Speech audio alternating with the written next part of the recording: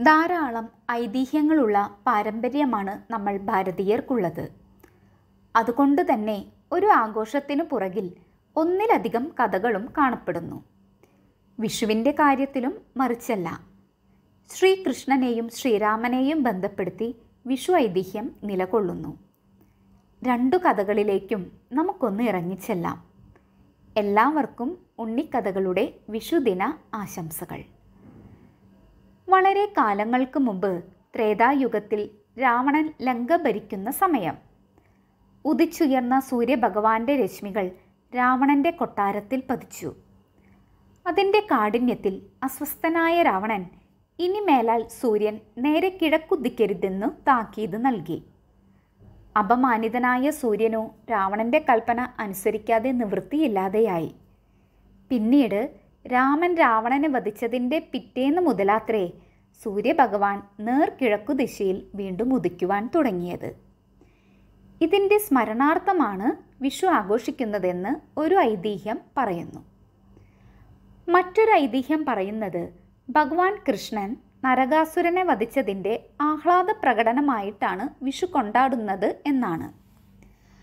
ഘോര രാക്ഷസനായ നരകാസുരൻ പ്രാഗ് ജ്യോതിഷം എന്ന ദേശം തലസ്ഥാനമാക്കി ഭൂമി വാണിരുന്നു മഹാവിഷ്ണുവിന്റെ നാരായണാസ്ത്രം ലഭിച്ചിരുന്ന ആ അസുരൻ മഹാബലവാനും അഹങ്കാരിയുമായി തീർന്നു.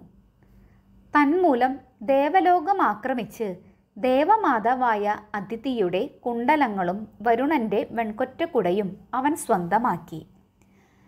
നരകാസുരന്റെ പീഡനത്താൽ പൊറുതിമുട്ടിയ ദേവകളും മഹർഷികളും ശ്രീകൃഷ്ണ ഭഗവാനെ ശരണം പ്രാപിച്ചു.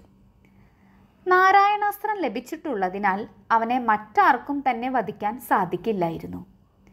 കൃഷ്ണൻ സത്യഭാമയുമൊത്ത് ഗരുഡന്റെ പുറത്തേറി പ്രാഗ് ജ്യോതിഷത്തിലെത്തി നരകാസുരന്റെ കോട്ടകളെയെല്ലാം തകർത്തു. മഹായുദ്ധത്തിനൊടുവിൽ നരകാസുരനെ ഭഗവാൻ സുദർശന ചക്രം ഉപയോഗിച്ച് ശിരച്ഛേദം ചെയ്തു.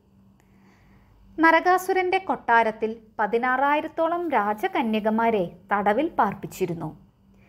ശ്രീകൃഷ്ണൻ അവരെയെല്ലാം മോചിപ്പിക്കുകയും കൊട്ടാരവും ഭരണവും നരകാസുരന്റെ പുത്രന് കൈമാറുകയും ചെയ്തു. എന്നാൽ തടവിൽ നിന്ന് മോചിതരായ കന്യകമാരെ സ്വീകരിക്കുവാൻ അവരുടെ കുടുംബാംഗങ്ങൾ വിമുഖത കാട്ടി. വിഷമസന്ധിയിൽപ്പെട്ട രാജകന്യകമാരുടെ അപേക്ഷ പ്രകാരം കൃഷ്ണൻ അവരുടെ സംരക്ഷണം ഏറ്റെടുത്തു. അങ്ങനെ അധർമ്മികളെ വധിച്ചതിന്റെ സന്തോഷ സൂചകമായി ഒരു പുതുപുലരിയുടെ വരവേൽപ്പായി നാം കൃഷ്ണനെ വെച്ച് കണിയൊരുക്കുകയും പടക്കങ്ങൾ പൊട്ടിച്ച് ആഹ്ലാദിക്കുകയും ചെയ്യുന്നു. ഏവർക്കും ഒരിക്കൽ കൂടി വിഷുപുലരി ആശംസകൾ നേർന്നുകൊണ്ട് നന്ദി നമസ്കാരം.